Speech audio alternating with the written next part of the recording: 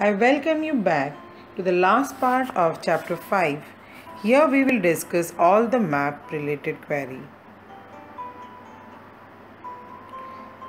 Children, let's first observe the map and then we'll find the answer for the following question. Before we begin, let's have a glance at the map. We can see five types of forest in the map along with the index.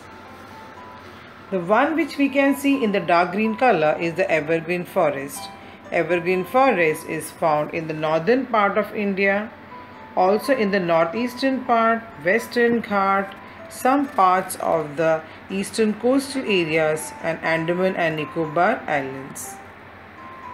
The one which we see in yellow color is the deciduous forest. So you can see maximum area of a country is occupied by deciduous forest. Thorny which is shown in the light brown color occupying the area of Gujarat, Rajasthan, some part of Madhya Pradesh, the rain shadow regions of Maharashtra, Andhra Pradesh, Telangana and also Tamil Nadu.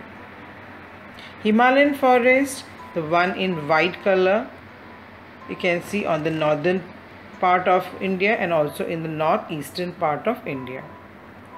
And the last one is the coastal forest which we can see in the blue color which is basically found in the eastern part of India.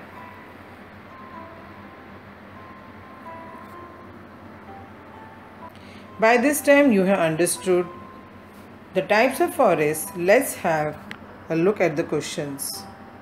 Which forests are found in the western snow cap region? It is Himalayan forest.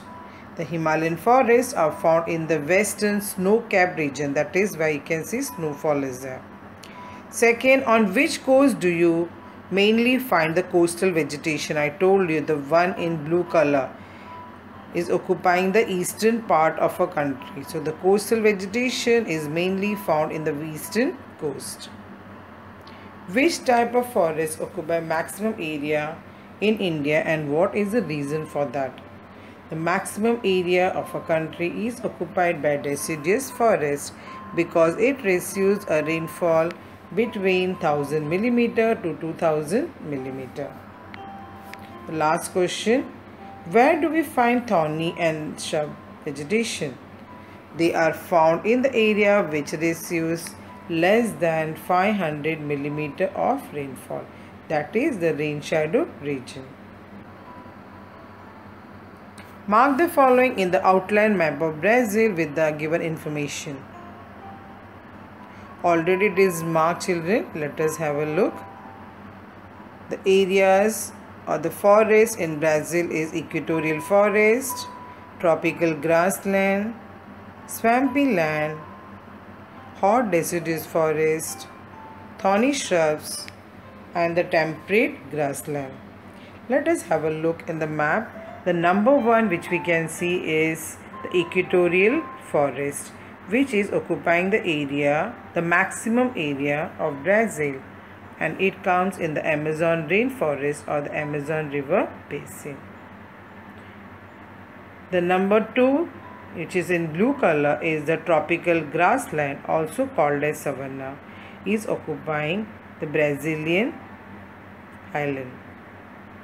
The number three is a swampy land or the marshy area which is called Pantanal which is marked in brown color.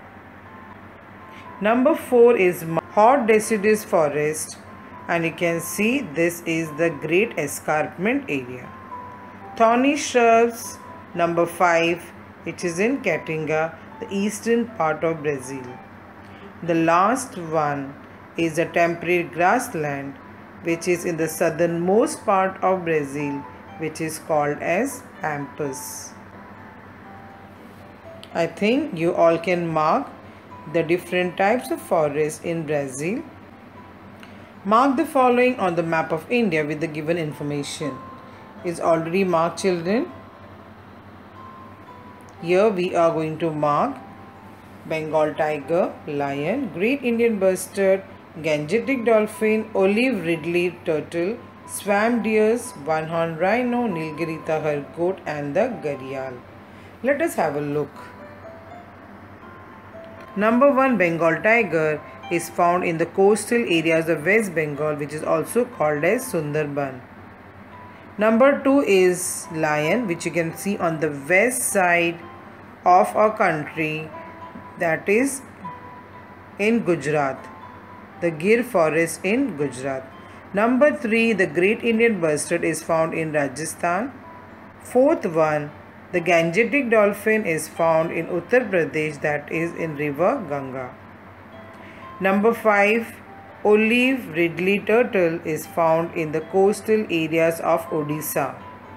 Let's see number 6 that is the swamp deer in Assam. Number 7 one horn rhino is also found in Assam.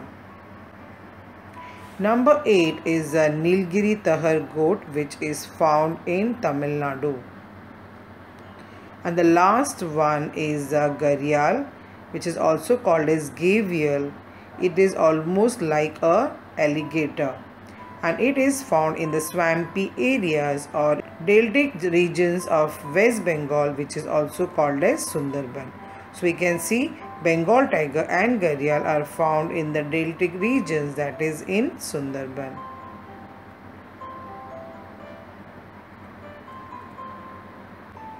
Children, you can use your own signs and symbol. You can also make use of color pencil to mark the map and you can make it more attractive. Important tiger reserves in India. There are nearly 50 tiger reserves in India. We are going to see only 10, the 10 important tiger reserves. Show the habitats of tigers in India with the names on the map. The first is the Jim Corbett, you can see in Uttarakhand. Second is Ranthambore in Rajasthan. Kaziranga in Assam. Bandipur in Karnataka. Periyar in Kerala. Sundarban in West Bengal.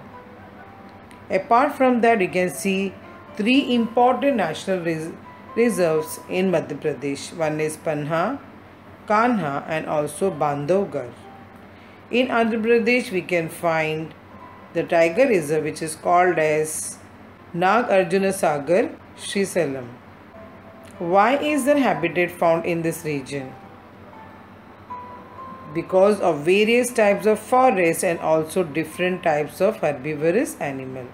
Herbivorous animal is a food of the carnivorous animal and the national animal of India, tiger, is a carnivorous animal. Colors of both. You can see it is given in your textbook page number 36. Certain questions are asked. Let us see the answers for that. In which country do equatorial forests occupy a greater area? What should be the reason behind it? Equatorial forests occupy a greater area in Brazil. This is because the equator passes through the northern part of Brazil. The climate is generally hot and it receives rainfall throughout the year. Which type of forests are found in India are not found in Brazil? I think children you might have noticed it is a Himalayan forest. We India is been gifted with Himalaya. So Himalayan forests are found in India and not in Brazil. Which type of forest found in Brazil are found in India too? So it is the evergreen forest, the deciduous forest and the thorny vegetation which are found both in India and Brazil. In which country a greater diversity of vegetation is found? What is the reason behind it? The greater vegetation is found in Brazil because here they have got a equatorial climate, ample sunlight, heavy rainfall and also vast forest. In which country will forest-based occupation flourish? Since we have seen equatorial forest and the vast forest is in Brazil, so you can see forest-based occupation can flourish in Brazil.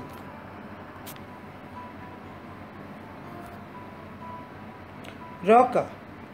Shifting agriculture or shifting cultivation is called as roca in Brazil. Here land under forest is cleared by cutting and burning.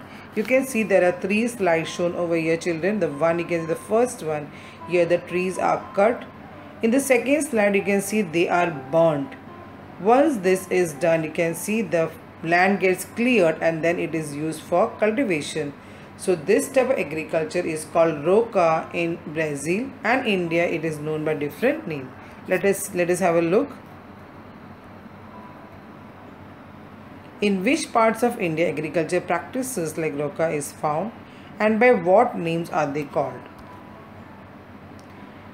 Jhum in Assam, Meghalaya, Manipur and Nagaland.